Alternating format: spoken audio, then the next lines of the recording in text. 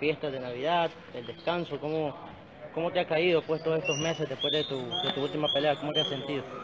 Bien, hoy más que nunca he al- a la familia, a los hijos y pues todo muy bien.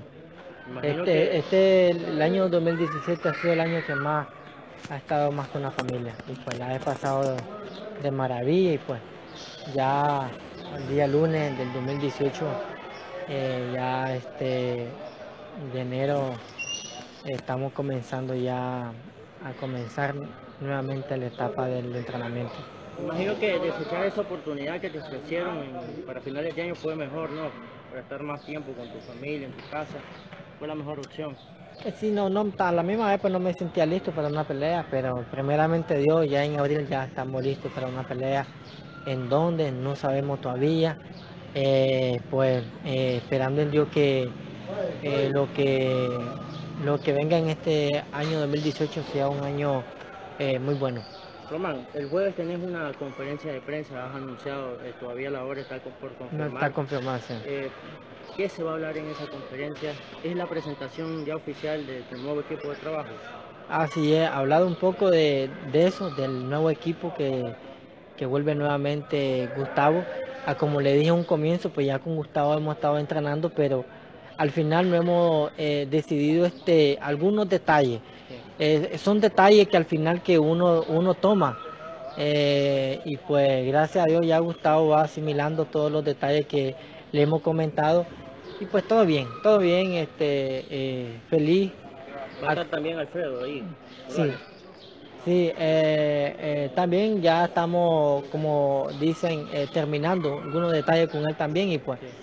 Esto no es solo que va- vamos, escogemos, no, esto es de detalle de las cosas que al final uno sabe eh, principalmente eh, eh, cuando uno va a una preparación, a un, campamento, a una pelea, son muchos detalles y pues uno tiene que dejar a la familia para, para, para hacer eso y, y- y llegar en, en la mejor condición a una Román, pelea. ¿Por qué te encantaste por eh, Gustavo Herrera? Sabemos de la calidad de Gustavo, pero ¿por qué ha sido eh, Gustavo volver a, a tus viejos orígenes?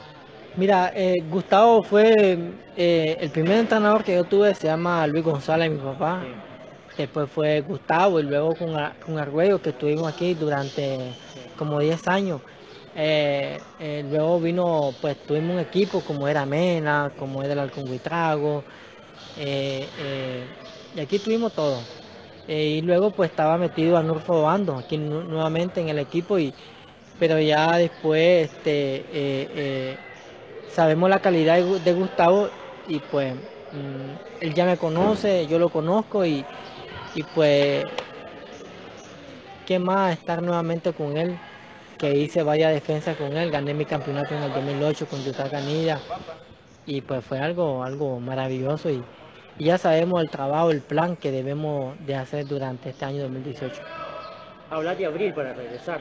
¿Puede ser una pelea preparatoria o puede ser ya una pelea de título mundial? No, una pelea de preparatoria. Quiero hacer una pelea de preparatoria. No tengo pensado nada de campeonato. Casualmente eh, me hablaron una pelea de título con, con Jafai, pero Sí. en Estados Unidos, una cartelera de... Superplay de 2, sí, febrero. pero no, no quise y, y, pues, porque como te dije, pues no, no me sentía listo para una pelea y, y pues ahorita al final, eh, con mucho respeto que, que, que se merece la gente, pero eh, no, ya no tengo nada que, que, que seguir, ¿me entiendes? Demostrando. Ya simplemente ya soy, eh, fui cuatro veces campeón, ahora lo que quiero es ir manejando mi carrera al suave, con calma y no hay prisa y pues uno de, de mis sueños es ser campeón del mundo nuevamente, pero todo al suave. Quiere decirte que si peleas en abril preparatoria puede quedar descartada la posibilidad de que estés en la, en la cartelera del Canelo. Porque Tom Lofer ha- había hablado de, de esa posibilidad que te quería ir en ese, en ese evento. Mira, to- to- todo es posible, pero siempre y cuando me entiendes cómo sea la situación. Eh, no sabemos eh, cómo me vaya a sentir en, esta pelea. No sé, yo puedo decirte que me siento bien, pero no es lo mismo estar peleando que uno decirlo con su boca y vamos a ver cómo me siento y, qué tal eh, me voy sintiendo el tiempo de knockout que recibí con, con, con el Con. Ahora, ¿qué pasaría si el gallo gana el 24 de febrero a, a Rubisay y se te acercan y te dicen, Román, queremos pelear con vos en mayo, con Francisco Estrada, Román González? Qué buena bolsa, una buena oferta para los dos. Mira, no, eso es lo que te dije, no quiero llegar a ese tampoco, porque eso puede llegar, ¿me entendés? Lo que quiero ir al suave, hacer una peleita, ser campeón del mundo y luego pues ya una pelea de unificación. Pero ya eh, eh, llegar de un solo así, yo creo yo que eh, no quiero llegar a eso, todo al suave. ¿Vas a, todo hacer, con cam- calma. vas a hacer campamento fuera del país? ¿Has pensado en Sí, salir? sí, lo vamos a hacer, eh, vamos a hacerlo, si Dios quiere, en Costa Rica, eso lo quiero hacer ahí, el campamento y ¿Cuándo pues, más o menos has pensado ir? ¿Por no, por ahí, finales, estamos viendo eso, todavía no, no, no hay fecha, pero estamos en eso. ¿Pelearías dónde? ¿Nicaragua? ¿Japón? Yo creo que aquí en Nicaragua. Sería una pelea Sí. aquí, porque se ha hablado también de que podrías estrenar vos el polideportivo Alexis Argüello con una pelea importante. Eh, eh, yo quiero pelear aquí en mi país nuevamente y como te dije, yo no estoy desesperado por... a- Obvio, todo el mundo quiere agarrar bolsa grande, pero al final pues hemos, hemos planteado que eh, ahora pues uno tiene que aprender a, a ver la salud de uno mismo y llevar las cosas con calma. Si este año no te volvés a convertir en campeón mundial, puede ser el, adiós definitivo de- del chocolatito. No tengo tanta prisa por volverme a, coronar campeón del mundo. Ese son mi meta y mi deseo. Pero si al final estoy desesperado, fuera escogido la pelea inmediatamente con Jafai en la pelea Superfly. Pero yo dije que no, que no, no lo quise. Y pues, ya como te yo puedo decir que sí, pero no sé en el momento cómo yo me vaya a sentir. No sé.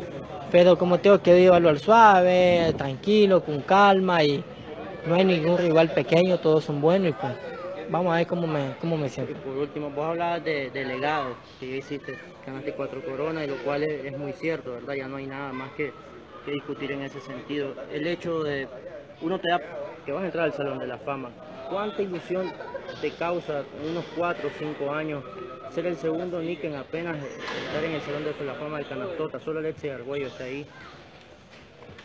Ah, bueno, eh, no he pensado eso. Eh, es algo que me está diciendo algo bonito. Todo llega porque uno se lo ha ganado. Pero llegar, ¿me entiendes? Como se dice la Grande Liga, al Salón de la Fama, es algo hermoso. Es una bendición más que Dios me puede regalar y yo me sentiría feliz.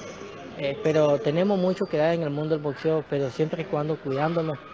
Porque al final, pues, eh, cuando peleé con Carlos Cuara fue una gran pelea y no más quería una revancha, pero el deseo del to- de todo el team es hacer una pelea, eh, como se dice, pues una defensa, pero al suave, pero porque no estábamos adaptados en ese peso, pero vieron, pues me ofreció una pelea de Rumbin y pues ya pues sabemos todos los resultados, pero no lo quejamos de nada, lo sentimos satisfechos, lo sentimos feliz y yo sé que lo, lo que más quiero es volver nuevamente a ser campeón, pero al tiempo, al suave. ¿Tu estado físico hoy? ¿Cómo está? ¿Cómo te sentís? Ah, bien, eh, me he sentido relajado, muy descansado, he descansado muchísimo y creo que ya es hora de, ya de que ya volvamos al gimnasio, hacer un plan de trabajo con todo el equipo y, y ya pues ya, como se dice, ponerlo serio en el, en el gimnasio. El jueves la conferencia, ¿dónde Román? Para la gente que pregunta,